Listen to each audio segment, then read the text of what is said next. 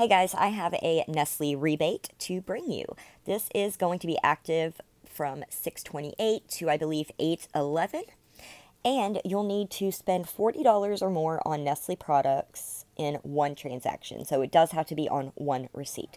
You can pay this with your SNAP, your EBT, your WIC, whatever. It, it can go towards this.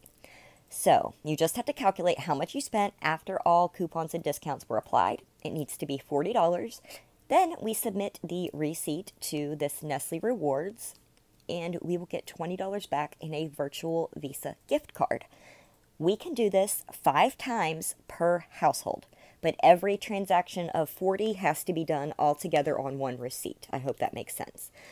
Um, but again, we can do this five times per household. So you can make $100 from buying regular groceries that you buy anytime. Now, the groceries that are included are going to be like DiGiorno, Hot Pockets, Lean Cuisine, Coffee Mate, Nesquik. There's so many. There's so many different ways that we can get to this $40 to earn half of it back. That's insane. We're going to spend 40 with EBT, food stamps, WIC, whatever, and then we can get back $20 in cash. That's 50% off that grocery order. Amazing, just simply amazing.